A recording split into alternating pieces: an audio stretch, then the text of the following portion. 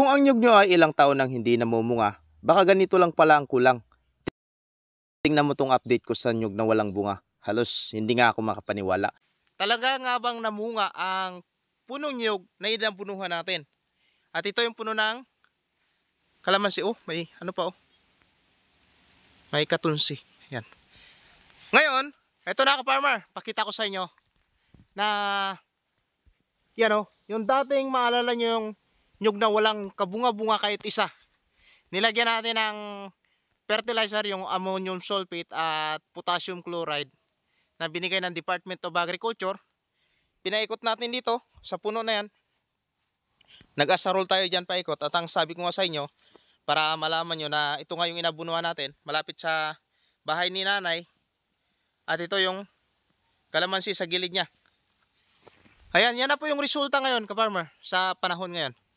Hello ka-farmer, once again, welcome back dito sa DDT Nature Farm. At sa nakaraang buwan nga ay maraming mga nagtatanong kung kumusta na ang nyog, namunga na ba? After years, ay mga nagsabi pa na patay na lang daw ang nyog dahil sayang naman ang abuno na ilalagay natin. Alam nyo ka-farmer, alam kong gusto nyo malaman kung anong resulta dahil baka may mga nyog din kayo na hindi namumunga pero ka-farmer, may tanong ako sa'yo bago tayo magsimula. Ilang taon na ba yung puno ng nyog sa likod ng bahay nyo? Pero hanggang ngayon, ni isang bunga wala pa rin. Alam nyo na ganyan na ganyan ang problema ko dati. Yan na, nakapag-recover siya. Unang napansin ko dito ay una, nag-recover muna siya. Gumanda muna yung kanyang mga dahon. Tapos sumunod, lumabas na yung kanyang mga bunga. At yan na, ito na yung mga bagong bunga niya. Actually may mga napitas na dyan. Oh. Yan yung mga bagong bunga niya. At last na video na pinakita ko sa kanya, nakarang mga buwan, na may mga bunga na siya pero hindi pa ganong malaki. Ngayon ito na, malaki na. Pwede na tayong magbuko sala dyan. Kaya ka farmer effective no? Marami kami mga tanim ng nyug pero may isa kong nyug na pa- pansin na walang bunga. Kaya kung gusto mong malaman kung anong nangyari, panoorin mo ang buong video na ito dahil matutuwa ka sa makikita mo. Na noon, ang nyug na halos walang bunga, nasarap na lang itumba. Ngayon tingnan nyo, mayroon ng mga bunga at halos tig 10 piraso bawat buwig.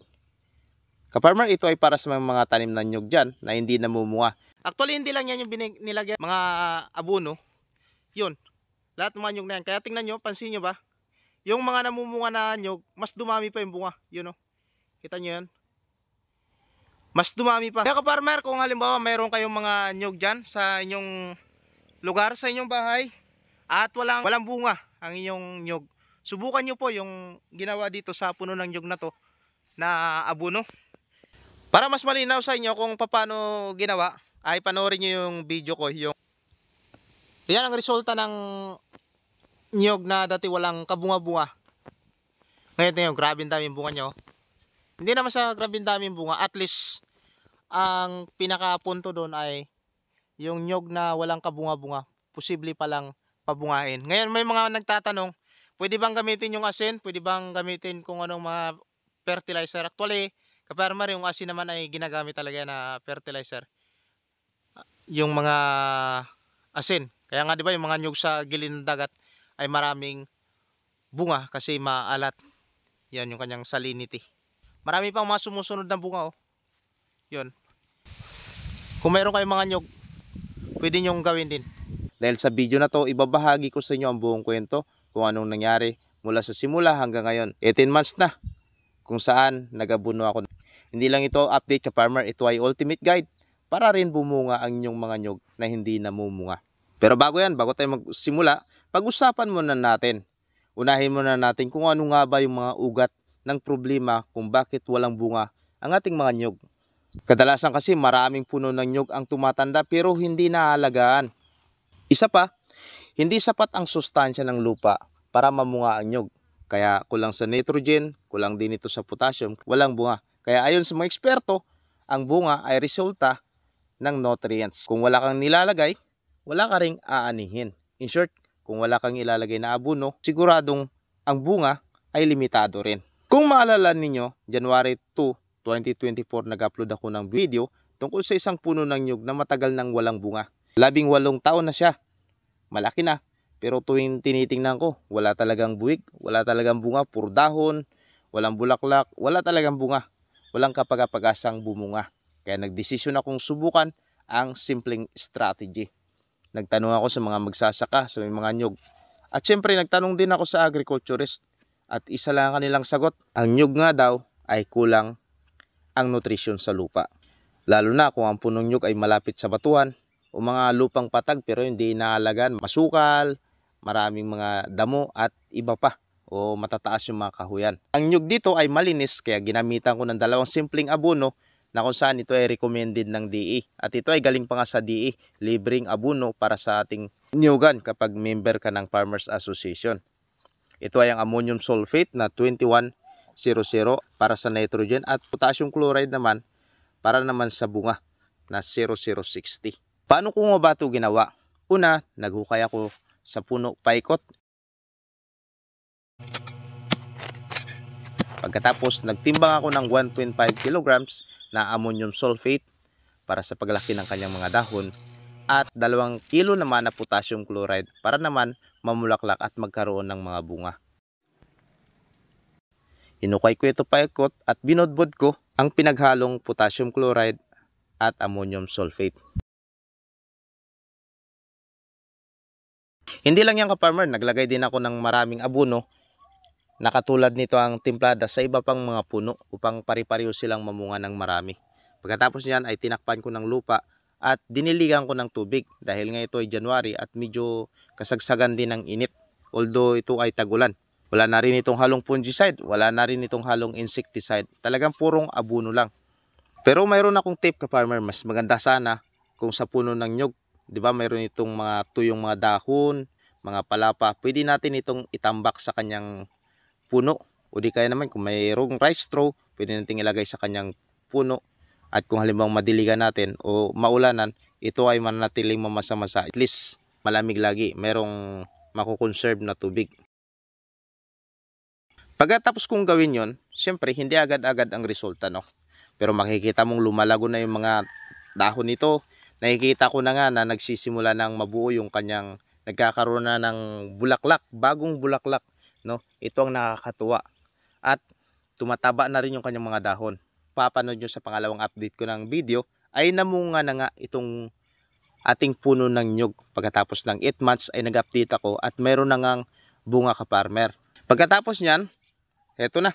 Pagdating na ng 18 months kitang kita na natin na mayroong isa, dalawa hanggang pitong buwig na. At sa bawat buwig ka farmer minsan tig 10 maabot pa nga ng 15 sa isang buwig So kung halimbawa kung pitong buwig yung bunga niyan at halimbawa sabihin natin tigsa 10 ang bawat buwig. So meron na tayong 70 piraso na bunga. Tandaan lang natin ka farmer na ang buwig ay hindi lang basta-basta kagad lumalabas yan. Ang buwig ay binubuo ng 6 to 12 months bago mo makitang namumunga. No? Simula sa paglabas ng kanyang bulaklak hanggang mabuo yung kanyang bunga. Kita nyo ba ka farmer? So hindi lang ito tsamba lahat ng niyog sa paligid siyempre sinubukan ko ring lagyan ng abono ng parihong paraan at talagang bumunga rin. At mayroon akong napansin na pattern dito na importanteng malaman natin. Number one kung mahina ang lupa mas matagal ang epekto.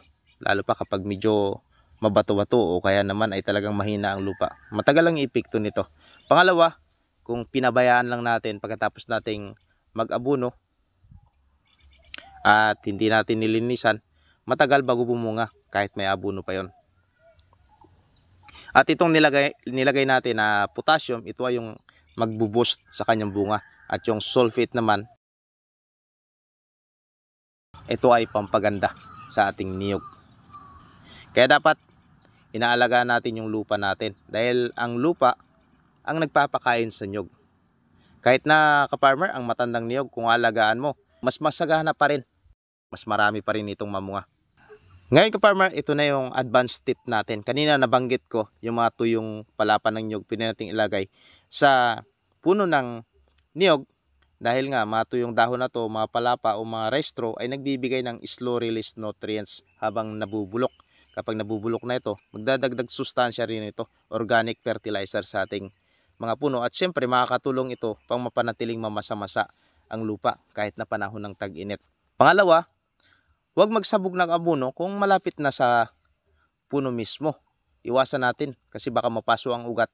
Pwede nating magsukat ng isa hanggang isa at kalahating metro ang distansya paikot sa puno ng niyog. Pangatlo, huwag abunuhan kung tag-init at tuyo ang lupa. Kung pwede lang ka-farmer, maghintay muna tayo sa simulan ng tag-ulan. Kung saan halimbawa June, simulan tag-ulan, doon tayo mag-aabuno at ah, bago matapos ang ulan, palagay natin ay December, doon na naman tayo mag-aabuno. Para tuloy-tuloy ang pagsipsip ng nutrients ng ugat. Mas maganda kung may ulan. Ating maglagay ng abono ay diligan natin yung fertilizer natin para talagang hindi ito mag-evaporate lang, tabunan din natin at para ma-absorb ang abono ng mga ugat ng niyog. At isa pa, kapag may bulati sa lupa, ibig sabihin yan ay maganda ang kondisyon ng lupa. Kung wala naman, ito ang ibig sabihin ay acidic ang lupa. Kung sobrang acidic ang lupa natin, halimbawa ay ah, less than 5.5, mahina ang absorption ng abono. June to December, June ka mag-abono din, sunod na abono mo ay December. Ito ay ideal pagdating ng simulan tagulan at pagkatapos ng tag-ulan. Yan. At pinakauli mga ka-farmer, patience is the key. Huwag umasa sa instant na resulta. Simula sa pag-abono mo, hindi ka agad yan bubunga. Kaya hintay ka na lumabas ang bunga. Kaya ka-farmer, bago tayo magtapos sa ating video, ang tanong ko ngayon, paano kung isang daang puno ng nyog ang abunuhan mo? Simple lang, di ba? Pero kung bawat puno ay magbibigay naman sa'yo ng 40 hanggang 60 na bunga kada taon, magkano na kayang kita mo? Kaya nga, hindi ko na pinatay yung nyog. Akala ko nga, yung nyog na tong wala nang bunga. Simpleng abuno lang pala ang kailangan. Akala ko, puputulin, papatayin ko na lang nyog na to. Pero, ang tanong lang pala, kailan mo siya bibigyan ng tamang nutrisyon. So, hindi lahat ka-farmer ng problema natin sa nyog ay dahil lang sa lahi o dahil sa edad nito. Minsan kulang lang talaga sa pag-aalaga natin sa mga puno ng nyog. Kaya kung may punong niyog ka sa paligid mo, bigyan mo ito ng pagkakataon na mamunga. Kasi kahit matanda na yan, kayang mamunga ng sagana. Kaya mga ka-farmer, ito ang patunay na ang pag-aalaga sa nyog ay hindi lang basta tanim lang tayo ng tanim at kalimutan na natin. Kailangan din nila ng nutrisyon, ng pagmamalasakit, ng paglalagay ng abuno at siyempre kunting sipag ng paglilinis dito. Kaya ang punong akala natin ay wala ng pag-asa. Pero dahil sinubukan nating intindihin ang pangailangan niya sa lupa, ngayon may pitong buwig na siya na bunga. Kaya kung ikaw ay may niyog sa bakuran, sa bukid mo, at gusto mo itong gawing negosyo, subukan mo na rin ito. I-comment mo kung ilang buwig na meron ka sa iyong niyog ngayon. Kung marami ka natutunan sa video na to, mag-like ka na, mag-share ka na para mas marami pang ka-farmer ang makinabang. At yan, syempre, subscribe na dito sa DDT Nature Farm para sa susunod na experiment natin, mga tips at patunay na talagang gumagana ang paglalagay ng abuno. At ka-farmer, hindi dyan nagtatapos ang video natin dahil sa susunod na video ay abangan ninyo ang bibilhin natin na lupa na isang ektarya at dito natin itatanim itong mga nakapunla na seedling ng niyog kung saan ito ay project din ng Department of Agriculture at doon natin tatanim. Abangan mo yung mga tips natin kung paano magtanim ng niyog. Hanggang yan lang mga ka-farmer. Kita-kits tayo sa susunod na video. Happy farming!